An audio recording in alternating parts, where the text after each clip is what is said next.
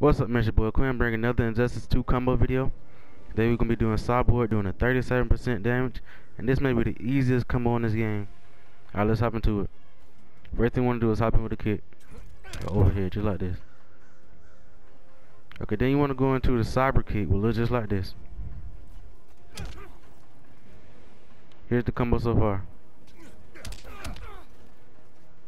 Okay, after you do the cyber kick, you wanna go in with a power fist will look just like this. Meter burn version look like this. You have to meter burn. Okay, here's the combo so far. Okay, so right to do the power fist meter burn, you want to go in with another cyber kick. Here's what it would look like.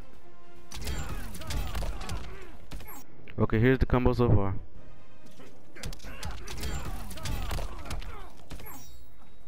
Right after you do that cyber kick, you want to go into another power fist. Will look just like this. Okay, here's the whole combo put together. Very easy, doing 37% damage.